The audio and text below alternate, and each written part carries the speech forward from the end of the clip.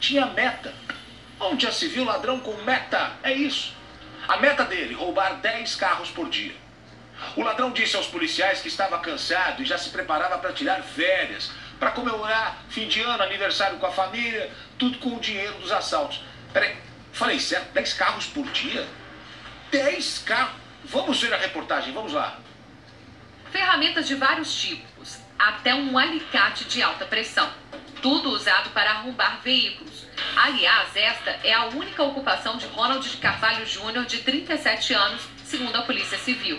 Ele, inclusive, teria dito aos policiais que tem como meta pelo menos 10 carros por dia e que estava juntando dinheiro para tirar férias. Ele se preparava para viajar no dia 24 com a família para Cabo Frio, por isso ele estava com aquela quantia de 3 mil reais em espécie e o aniversário dele seria no dia do Natal.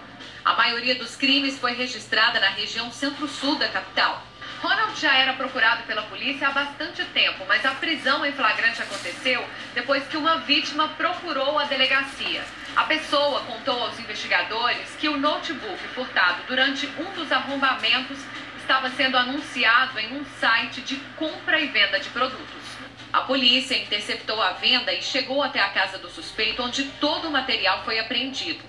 Som automotivo, objetos pessoais, uma prancha para a prática de stand-up paddle e uma porção de maconha.